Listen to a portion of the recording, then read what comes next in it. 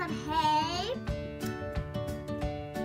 the horse thing, when you work out your horse, and the thing where I don't forget, I don't know what this is.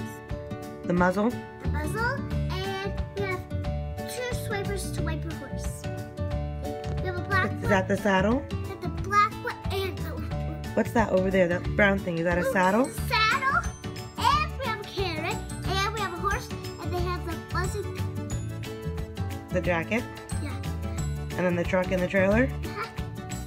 And the stickers, you have the um, others, and it comes with white, and you see the stickers, stickers, and here's the front of it, and there's people that could drive it. It's so cute. I show how to put this in? So what you do is you open this, and you stick the horse in, and bite. So you have to close it, you can put your haystack I'll show you, but and she can go in too. Go. Okay, so I put your driver right in here. It might be hard. So and it has real wheels. It looks like real to drive,